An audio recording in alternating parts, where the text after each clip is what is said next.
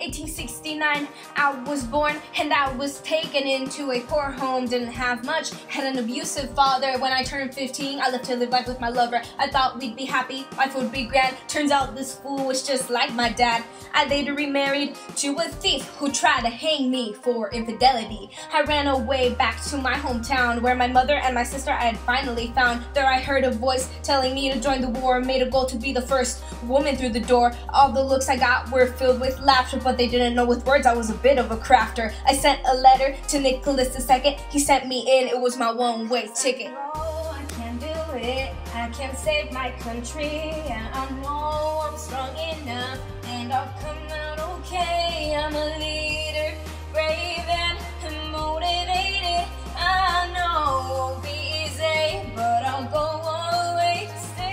I was able to join the 25th or 3rd. All the men tease me, can't believe they had the nerve. I was determined to show this is where I belong, and I gained respect. I proved them wrong. I know who I am, and no one can change me. Before they laughed, and now they can't face me. I kept going while the war tore me down. Every time I fell, I picked myself up off the ground. I know I can do it. I can save my country. Yeah, I know I'm strong enough, and I'll come out okay. I'm a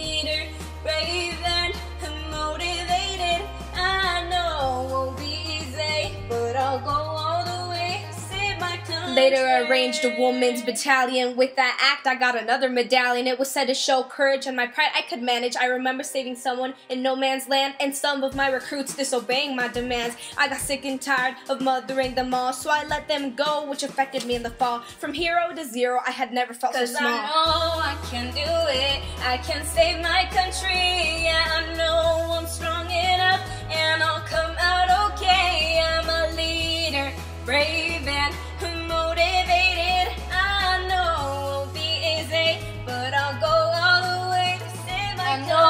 I can do it. I can save my country. And I know I'm strong enough and I'll come out okay. I'm a leader, brave and motivated. I know it won't be easy, but I'll go all the way to save my country. In the summer, I was woman of the century. In the fall, I was removed of my weaponry. They think I was captured, executed by a shooter. They'll find out the truth about my death in the future.